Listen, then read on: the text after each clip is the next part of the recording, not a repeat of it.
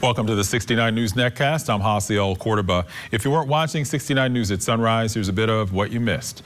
A house fire claimed the lives of a husband and wife in Amity Township, Berks County. The fire broke out early yesterday morning in the 100 block of Orchard View Drive. Officials said the fire quickly spread through the home, trapping the couple in a bedroom on the second floor. Neighbors identified the victims as Henry and Sharon Fordham. Another man was taken to the hospital with minor injuries after making several attempts to try and rescue the couple. A family of six has been displaced from its home after a fire in Lehigh County. The fire started around 10 last night in the 9700 block of Newtown Road in Upper Macungie Township.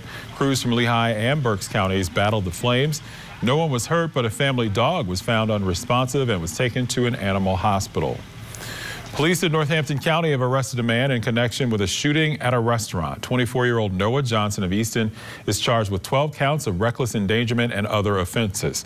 Police say he fired shots into Big Woody's Sports Bar and Grill in Forks Township early Saturday morning. No one was hurt. Investigators are trying to determine a motive. They say it may be linked to another report of shots fired earlier that morning. It's a comfortable start to the work week. The humidity appears to be moving on as we get into some more seasonable temperatures this week. For more local news, watch 69 News or get updates at WFMZ.com. With the 69 News Netcast, I'm Hasiel Cordoba.